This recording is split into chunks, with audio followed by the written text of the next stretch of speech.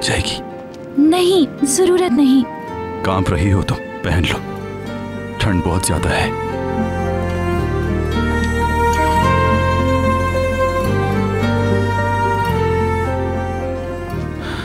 Jacket की zip बंद करो।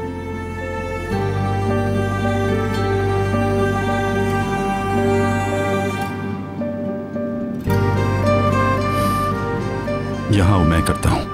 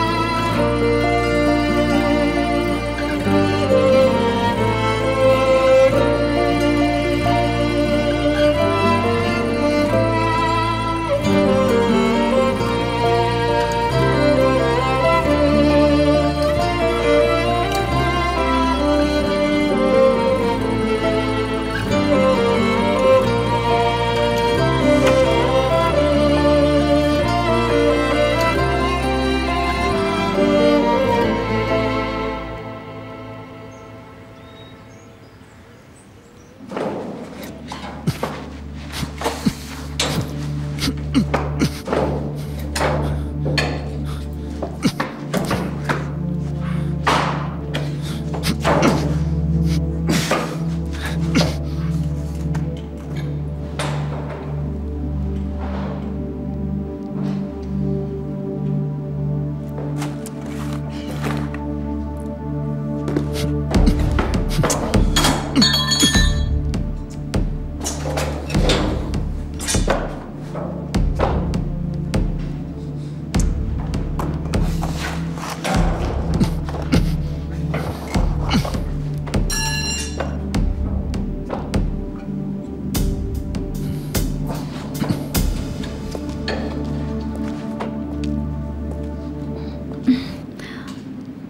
प्यास लगी होगी।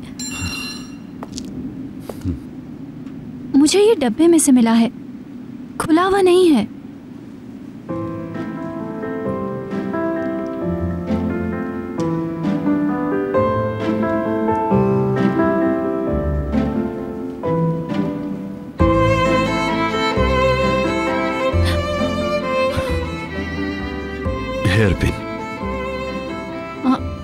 हेयर पिन क्या? मुझे हेयर पिन की ज़रूरत है। आ, हेयर पिन की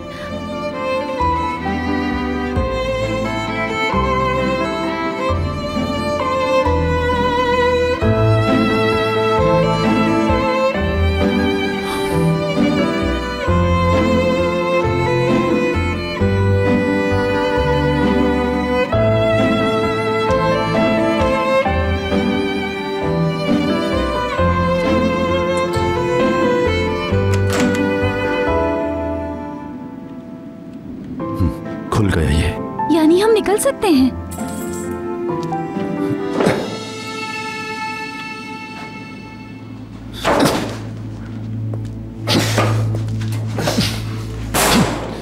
हद है यार। लॉक तो खुल गया है मगर बाहर से कुंडी लगी हुई है। अब फिर हम क्या करेंगे? इंतज़ार करेंगे। दुआ करो कि कोई आके दरवाज़ा खोले।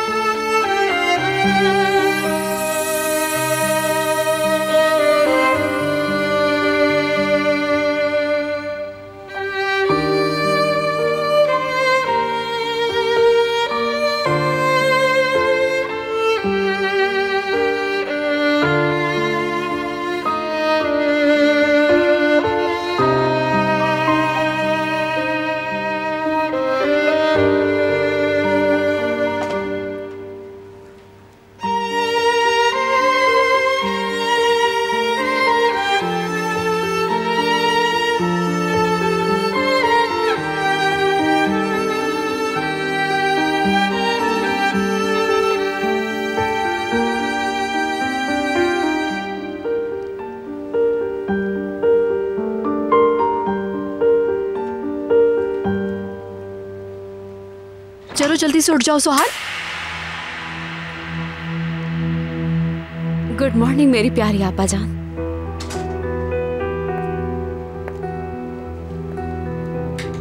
ऐसे हैरत से क्यों देख रही है मुझे? कहीं अपनी साजिशों की नाकामी पर हैरान तो नहीं हो रही? वैसे आपको इसका हक हासिल है। कहीं आप सारी रात यमान के साथ मेरी डेट की प्लानिंग तो नहीं करती रही? जबकि यमान ने कल पूरी रात उस खाला सहर के साथ अकेले में गुजारी। और सुबह के वक्त वो दोनों इकट्ठे घर वापस आए। अल्लाह का शुक्र है कि यमान यूसुफ की वजह से उसे जल्दी कर ले आया और ब्लड टेस्ट नहीं कराया। मैं तो सारी रात डरती रही कि अगर उनको टैबलेट्स का पता चल गया तो क्या होगा। मगर अब ऐसा नहीं होगा। मैंने ऐसा प्लान बनाया है कि इस बार किसी सूरत नाकाम नहीं होगा। आपकी सब साजिशों की नाकामी वाजे हो चुकी है। अब से हर प्लान मैं खुद बनाऊँगी। तुमने बनाया और मैंने देख लिया। ठीक है तुम्हारा ही सही कोई तो प्लान कामयाब हो। मुझे तो बस कामयाबी चाहिए अपनी। उसके लिए हर चीज़ करने को तैयार हूँ। हमारा रिलैक्स होना बहुत ज़रूरी है ताकि उसकी डायरेक्शन का अंदाज़ा लगाया जा सके। आप ये सुन ले आज से मैं हर काम अपनी मर्ज़ी और मूड से करूँगी। आपा जान।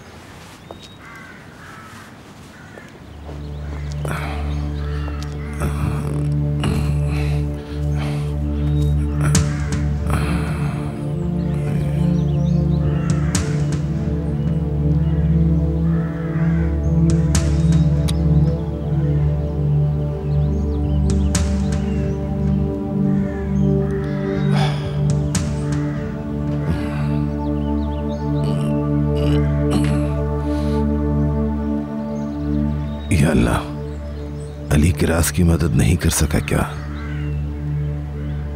या फिर उसने उसकी मदद तो की हो, कहीं अपने गुस्से की वजह से उसे भाई के हवाले ना कर दिया हो? अल्लाह ना करे ऐसा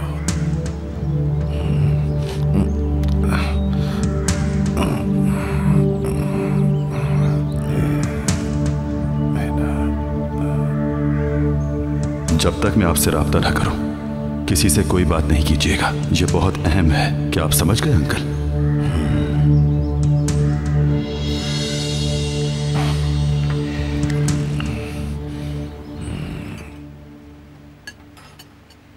थोड़ा सा जूस पी लो।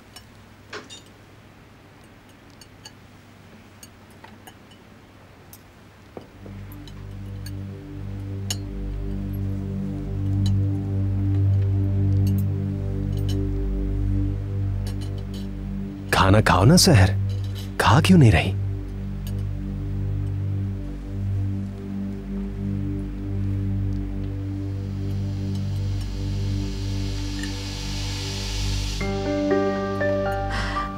जिया ठीक कह रहा है सहर तुमने तो अभी तक नाश्ता शुरू भी नहीं किया।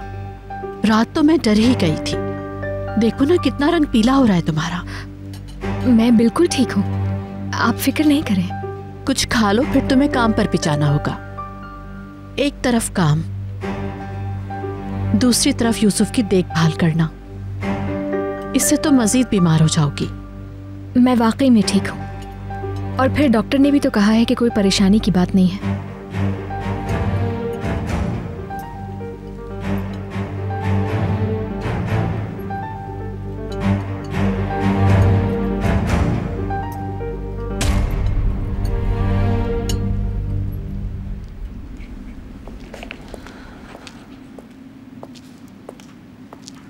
ब्लड फ्लो की कम मकदार की वजह से आरसी बेहोशी तारी हो जाती है, जो दिल की रफ्तार कम करके अचानक एक बीमारी बन जाती है। ये भला क्या बात हुई? ऑफिसर।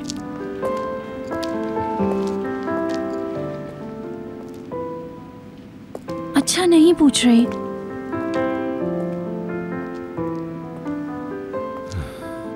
ब्लड फ्लो की कम मकदार की वजह से आरसी बेहोशी तारी हो जाती है जो दिल की रफ्तार कम करके अचानक एक बीमारी बन जाती है। धड़कन बंद। तुम्हारे सवाल का जवाब। इसे याद कर लो।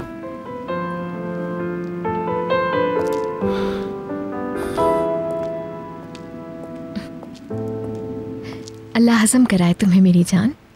हम नए वाटर कलर से पेंट कर सकते हैं खाला। हाँ क्यों नहीं? ज़रूर करेंगे। तुम रुक जाओ सहर रुक जाओ रुक जाओ। तुम नाश्ता मुकम्मल करो।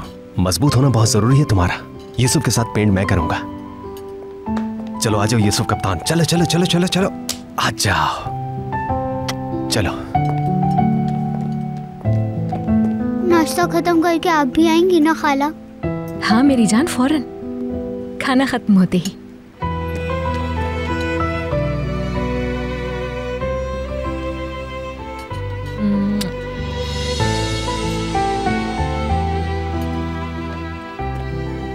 चलो आ जाओ जल्दी चलो चलो चलो चलो चलो चलो चलो चलो चलो चलो चलो चलो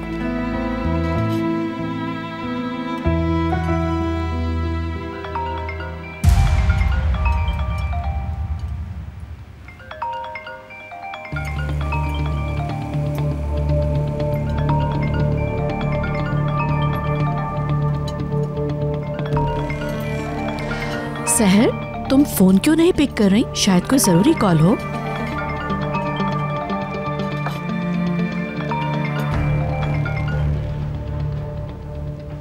हाँ क्या हुआ सलीम?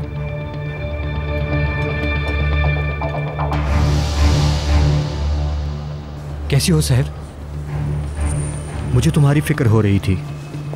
कल मेरे जाने के बाद कुछ हुआ तो नहीं? सब कुछ ठीक है ना वहाँ? हाँ कुछ नहीं हुआ।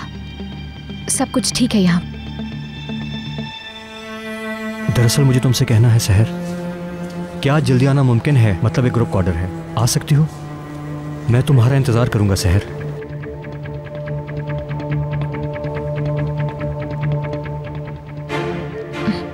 ठीक है। मैं आती हूँ थोड़ी देर में।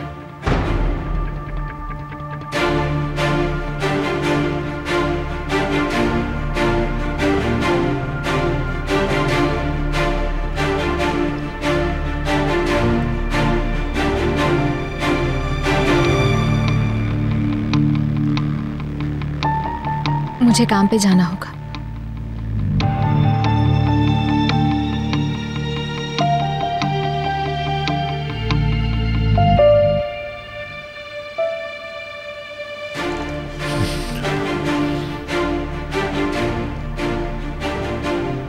तुम कल यूसुफ की बर्थडे के दिन भी गई और देर से आई।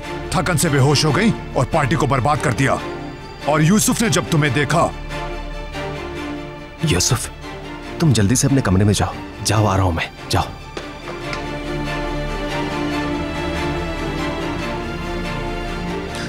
तुम्हें यूसुफ को फिर से खौफजदा करने की इजाज़त नहीं दे सकता।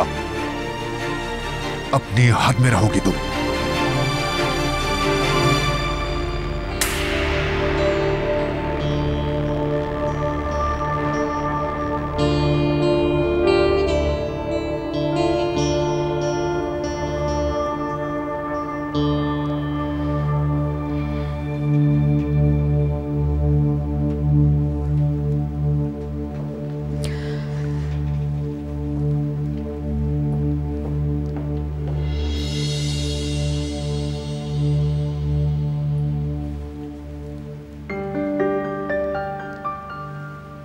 इसने तो नाश्ते को हाथ भी नहीं लगाया। काम से कितना इश्क करती है, जानती हूँ मैं। रुको, मैं जाकर देखती हूँ उसे कमरे में।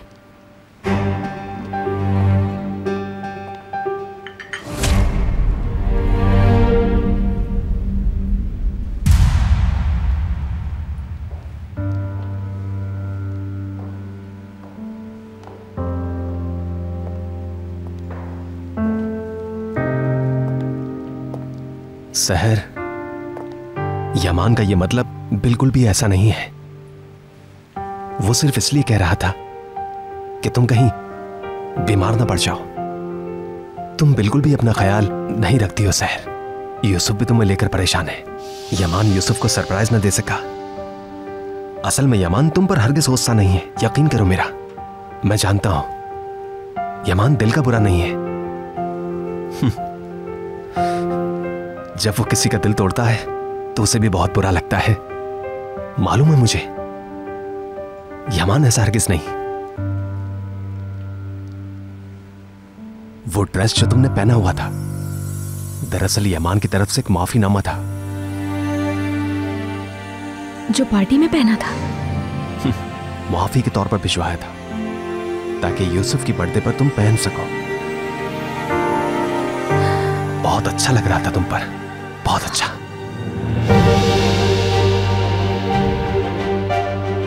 उसने भेजा था तो और क्या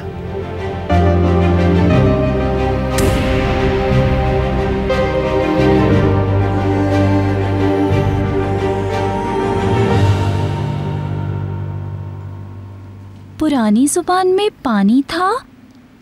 अब। और सिल्वर फ़िश थी? एथरीना ये क्या लिखा है? रोसरी हेड इमामे?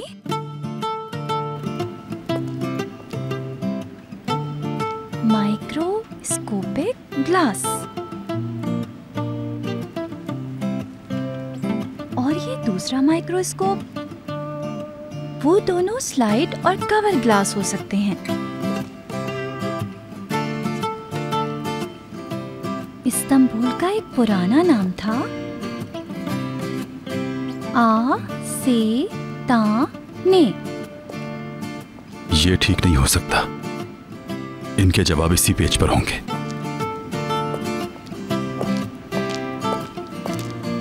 क्या तुमने सारे जवाब देख लिए? लाओ मुझे दिखाओ।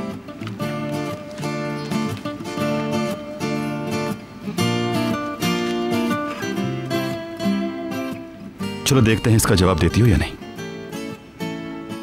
वो पत्थर जो जेवरात की तैयारी के लिए अनातोलिया के सेंट्रल रीजन में इस्तेमाल होता है। ओनिक्स। यानी ये पत्थर ऐसा लगता है मुझे जैसे वो टुकड़ों में बटा हुआ हो। ये मेरा फेवरेट पत्थर है।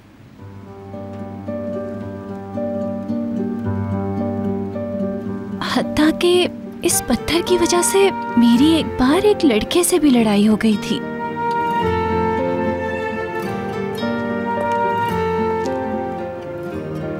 वो हमारे गाँव का नहीं था। मुझे लगता है शायद किसी के घर मेहमान आया था। मैं एक दिन स्कूल से घर आ रही थी तो मैंने देखा कि ज़मीन पर एक खूबसूरत पत्थर पड़ा हुआ है। फिर बाद में मुझे पता लगा कि उस पत्थर का नाम ओनिक्स है। मैं वो पत्थर उठाने लगी तो उस लड़के ने तेज़ी से मुझसे पहले वो पत्थर उठा लिया। उसकी इस हरकत पे मैं बिल्कुल पागल हो गई। तो मैंने ज़मीन से एक बड़ा सा पत्थर उठाया और उसके सर पे दे मारा। ये कैसे हो सकता है? बिल्कुल उसी तरह हुआ था। फिर मैंने उसके सर से खून निकलता हुआ देखा। ज़ाहिर है मैं डर गई। मुझे लगा उसका सर फोड़ दिया है। फिर मुझे नहीं पता कैसे घर पहुँची। फिर मैंने कभी उस लड़के को नहीं देखा। मगर मैं उसे भूल ना सकी। उसके पास हेड थी जिस पर ब्लू हॉर्स बना हुआ था। मुझे लगता है वो डर गया और फिर सामने नहीं आया। वो तुम हो?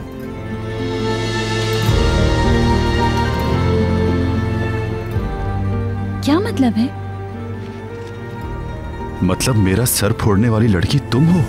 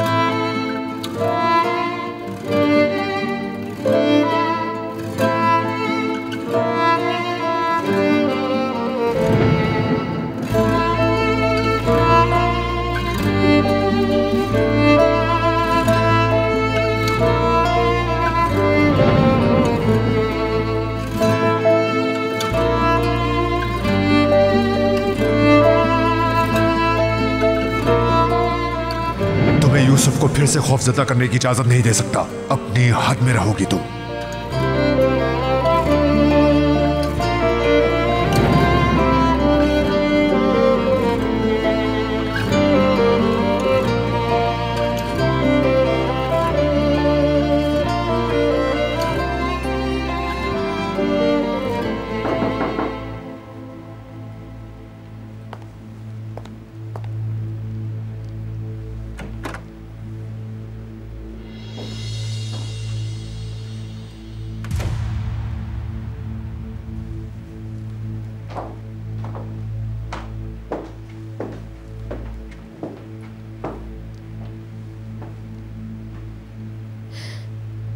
ये ड्रेस वापस करने आई हूँ मैं।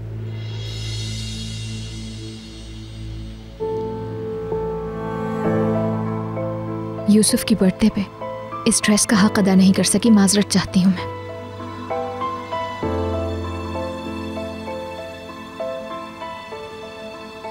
तुम्हें लगता है कि पैसों से हर मसले को हल कर सकते हो?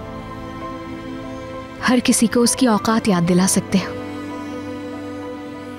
लेकिन जान लो ये दिए गए हर जख्म पर पैसों की पट्टी नहीं लगाई जा सकती।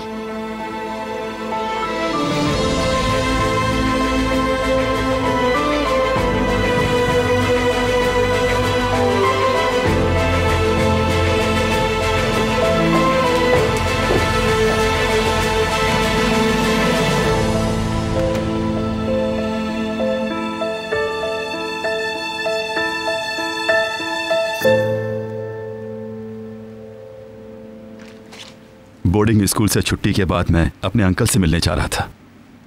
वहाँ हर कोई तुम्हारी बातें करता था कि गाँव में तुम सबको तंग करती हो। देखो जरा, वो पत्थर लगने का निशान अब भी मौजूद है।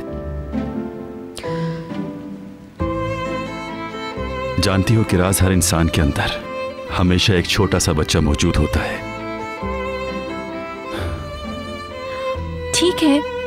मैं मानती हूँ।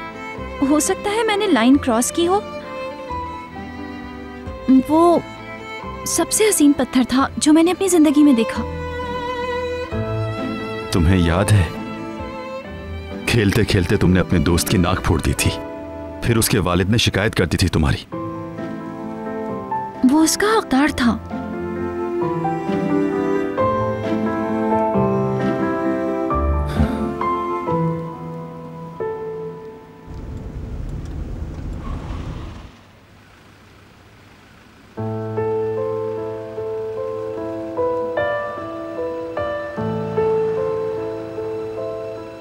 तुम जिद करके अब भी रेस्टोरेंट जा रही हो, बहुत जिद्दी हो। अपनी हालत तो देखो तुम।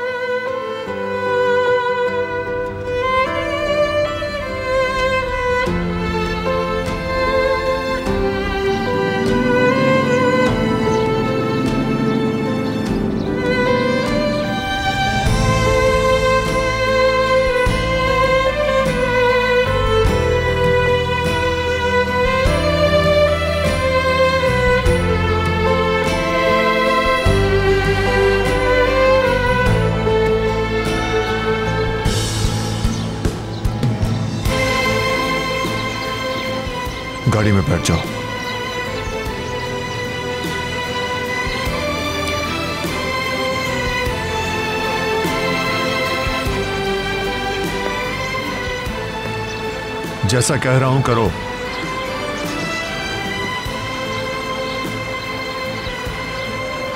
यूसुफ की वजह से कह रहा हूँ।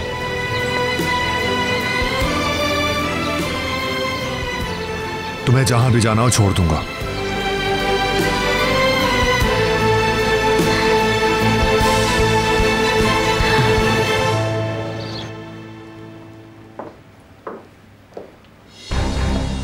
ये बात कैसे मुमकिन हो सकती है सुहाल?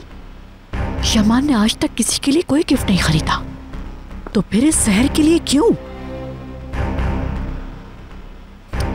उस लड़की को इस बात पर मुबारकबाद देनी चाहिए। नामुमकिन को कर दिखाया। मुझमें हत्या के वो कशिश आप में भी नहीं जो उस लड़की में है। वो लड़की इतनी अहम किस तरह से हो गई? उस दो टके की आम सी लड़की के पास क्या जादू है? मगर उस आम सी लड़की को यहाँ से कोई दूर नहीं भेज सकता आपा हत्या के मेरी सबसे ज़्यादा साजिश करने वाली बहन भी नहीं। अपनी जबान को कंट्रोल में रखो। मैं किसी भी सूरत हार मानने वाली नहीं। मैं अच्छी तरह जानती हूँ कि अब क्या करना है। हम्म, यमान को एक रकीब की ज़रूरत है। ऐसा रकीब जिसकी वजह से वो यहाँ से निकाल दी जाए। हम्म, मुझे पता है कि वो रकीब लड़का कौन हो सकता है। कौन सा लड़का? कहीं रेस्टोरेंट वाले सलीम का तो नहीं कह रही हाँ? बिल्कुल वही सुहाल मेरी मालूमात के मुताबिक वो लड़का शहर पे दिलो जान से आशिक है और इस आशिकी को शादी में बदलना है। आपा उस लड़की ने ये जगह देख ली है। क्या आपके ख्याल में अब वो उस लड़के के साथ शादी के लिए तैयार हो जाएगी? बिल्कुल होगी। शहर के साथ सलीम की मौजूदगी यमान को भड़काने के लिए काफ़ी होगी। अगर केसर की मौत उसे याद है तो।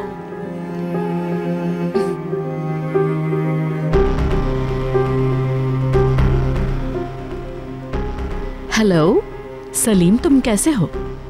मैं अपने एक दोस्त के इवेंट के ऑर्डर के लिए तुम्हारे पास रेस्टोरेंट आना चाहती हूँ। तो मैं कब तक आऊँ? हम्म, ज़बरदस्त। तो फिर मुलाकात होती है हमारी।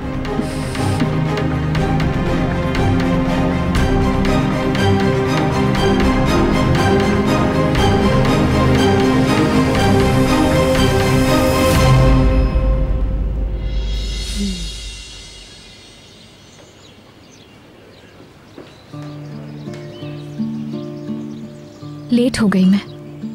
तुमने तो कहा था कि रेस्टोरेंट पे छोड़ोगे मुझे। पहले कुछ खा लो उसके बाद।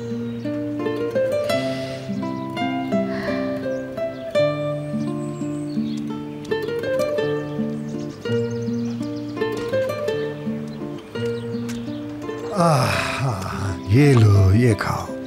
भूख नहीं थी मुझे जहमत हुई आपको खामखा। अच्छा। क्या हुआ जो तुम्हें भूख नहीं है? थोड़ा सा तो खा लो इसे। वैसे ये बहुत लजीज बनाया मैंने। मुझ पे आपके एहसान है बहुत। ज़िंदगी बचाई आपने मेरी। तुम्हारी ज़िंदगी तो अल्लाह ने बचाई है। उसने तुम्हें यमान के हवाले किया। मैंने तो सिर्फ़ दी गई कीमती चीज़ का ख्याल रखा था बस। अब तुम जानती हो तुम्हारी ज़िंदगी कीमती है। चलो अब मज़े से कबाब खाओ। हम्म?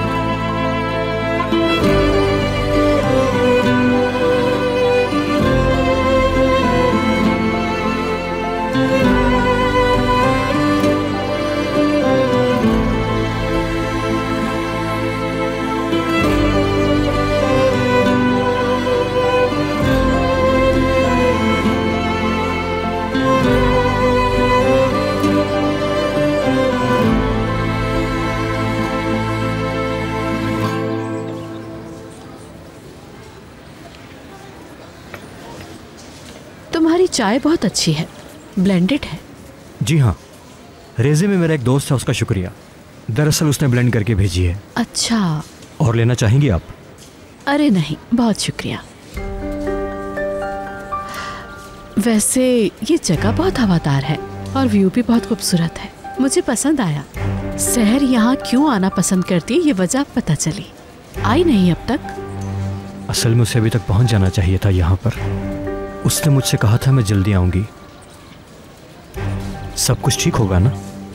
वो कहती तो यही है कि सब कुछ ठीक है।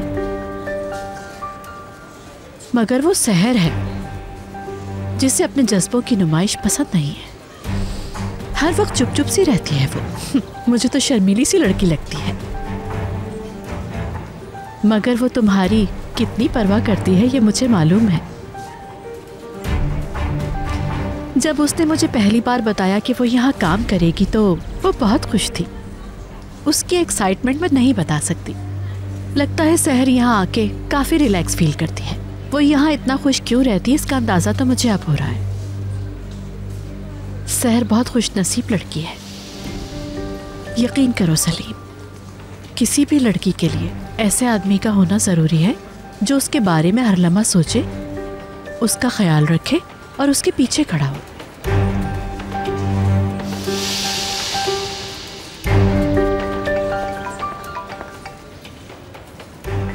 अरे सलीम मेरी दोस्त का मैसेज आया है। आज का ऑर्डर उसने कैंसिल कर दिया है। वो किसी ज़रूरी काम में बिज़ी हो गई है।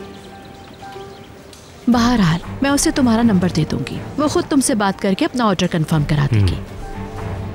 हम्म, अब मुझे चलना चाहिए। खुदा हाफिज खुदा हाफिज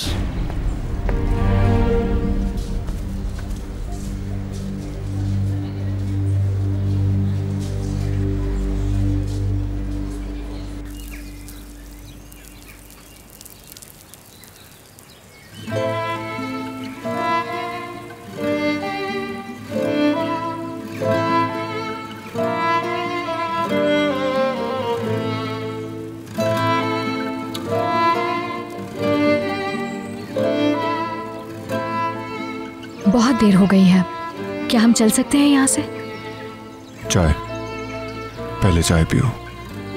मैं नहीं पीऊँगी बहुत शुक्रिया। पहले हॉस्पिटल चलना चाहिए। तुम्हारे ब्लड टेस्ट करवाने ज़रूरी हैं।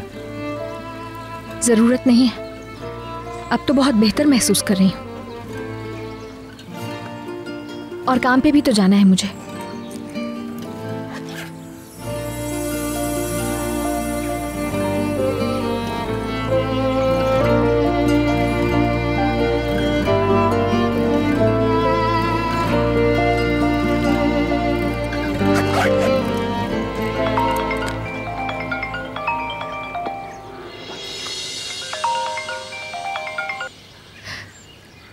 सलीम?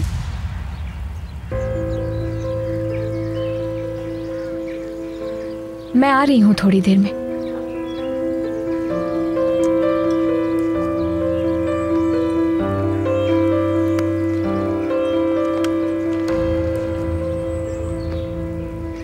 तुम इस हालत में वहाँ नहीं जा सकती। लेकिन मैं बीमार नहीं हूँ। तुम्हारा मकसद यूसुफ के साथ रहना नहीं था क्या? किसी भी इंसान को जानबूझ के अपना यह हाल नहीं करना चाहिए। सब कुछ तुम्हारे बस में है।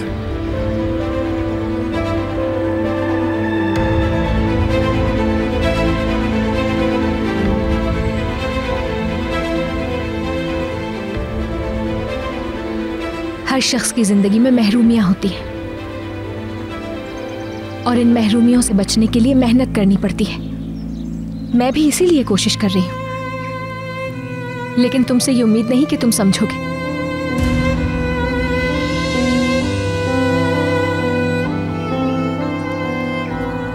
सलामत रहिए आरिफ साहब। खाना बहुत लजीज बनाया था। मैं तो बैठ के बातें करना चाहती थी लेकिन जाना लाजमी है। आने का बहुत शुक्रिया। अपना ख्याल रखना।